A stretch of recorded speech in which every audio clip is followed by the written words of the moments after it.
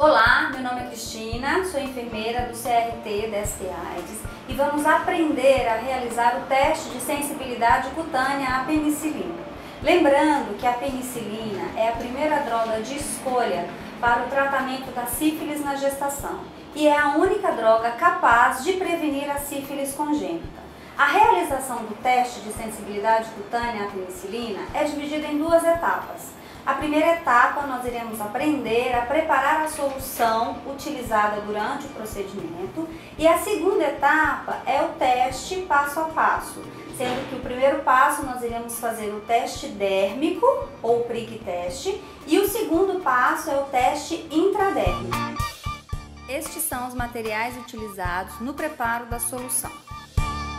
Penicilina cristalina G potássica, 5 milhões de UI por ml, frasco estéreo, solução fisiológica a 0,9%, seringa de 10 ml, agulha 40 por 12 e etiqueta para identificar a solução quanto à concentração e a validade. Lembrando que o prazo de validade nós devemos observar na bula qual é a orientação do fabricante ele indica qual é o tempo que aquela solução pode é, ser utilizada. Então, provavelmente deve estar condicionada na geladeira, na temperatura de 2 a 8 graus, e o tempo, se é 24 horas ou mais, a gente deve observar na bula da medicação. Vamos começar o preparo da solução para a realização do teste. O primeiro passo é diluir a penicilina G potássica com 8 ml de solução fisiológica.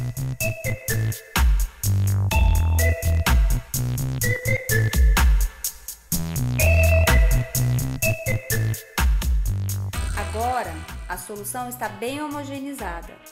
Essa aqui é a solução que vamos chamar de solução 1 ou solução mãe. A concentração dela é 5 milhões de UI por ml. Agora, nós vamos tirar dessa solução mãe 2 ml e em seguida vamos aspirar mais 8 ml de solução fisiológica 0,9% para diluirmos novamente e formarmos a solução 2 ou solução filha. Recapitulando, tiramos 2 ml da solução mãe e completamos para 10 ml, aspirando 8 ml de solução fisiológica.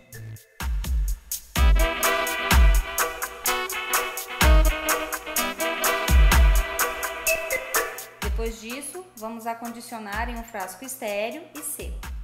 Depois precisamos identificar o frasco como solução 2 ou solução filha e informar que agora a concentração desta solução é 100 mil UI por ml e identificar de acordo com a concentração e a data de validade, levando em consideração a orientação do fabricante. Para darmos origem à solução 3, ou solução que vamos chamar de neta, precisamos aspirar 1 ml de solução 2, que é a solução filha, e diluir mais uma vez com 9 ml de solução fisiológica. Vamos completar para 10 ml com a solução fisiológica.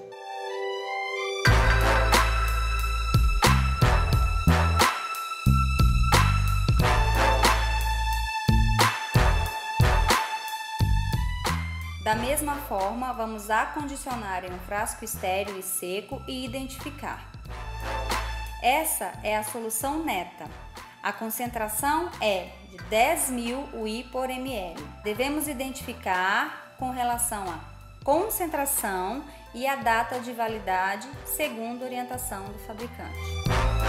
Essa é a solução que nós iremos utilizar para realizar o teste.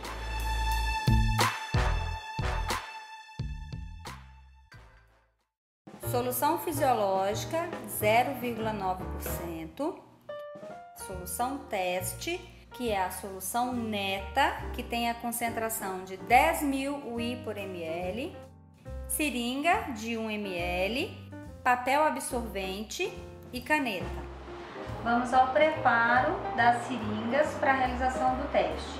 Eu preciso das duas seringas de insulina, então uma eu vou aspirar meio ml de solução fisiológica, que eu vou identificar como minha solução controle. e meio ml de solução 3, que contém 10 mil por ml, que é a minha solução teste. Eu preciso fazer um, um parâmetro de comparação entre solução controle e solução teste. Solução controle, aqui nós temos a seringa aspirado meio ml de solução fisiológica e nossa solução teste, que é a penicilina cristalina diluída com uma concentração de 10 mil I por ml. O teste é realizado na face interna do antebraço do paciente e eu preciso marcar uma divisão em quatro quadrantes. Na primeira etapa, que é o teste dérmico, eu divido em duas partes. Vou marcar um C de controle, que é o local que eu vou aplicar a solução controle ou solução fisiológica 0,9%. E vou marcar T de teste, que é o local onde eu vou aplicar a solução teste, que é a solução neta que tem a concentração de 10 mil I por ml.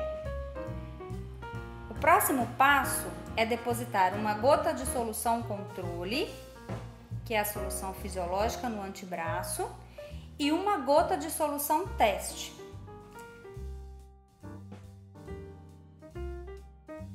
Depois, precisamos provocar uma ranhura com uma agulha de insulina num ângulo aproximado de 15 graus e fazer uma pequena pressão de baixo para cima, puxando a pele.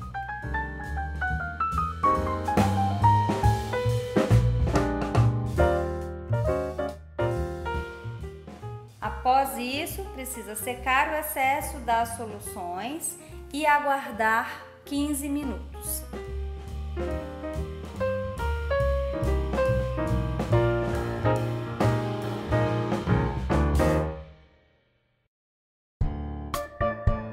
Após 15 minutos do teste térmico, podemos verificar que não houve alteração, ou seja, não reagente.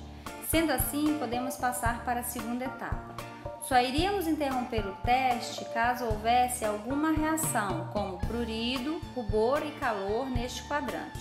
Seria um resultado positivo de reação alérgica cutânea à penicilina. Nesse caso, deu negativo ou não reagente, então podemos prosseguir com o teste. A segunda etapa consiste em fazermos uma pápula na região da intraderme do paciente. Novamente, posicionamos a agulha de insulina numa angulação de 15 graus e injetamos de 0,1 a 0,2 de solução controle e repetimos o mesmo procedimento com a solução teste.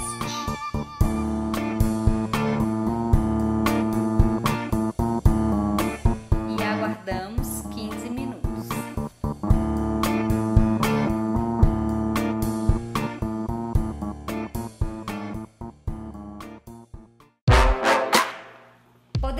observar que não houve alteração na pele na região da solução controle e na região da solução teste.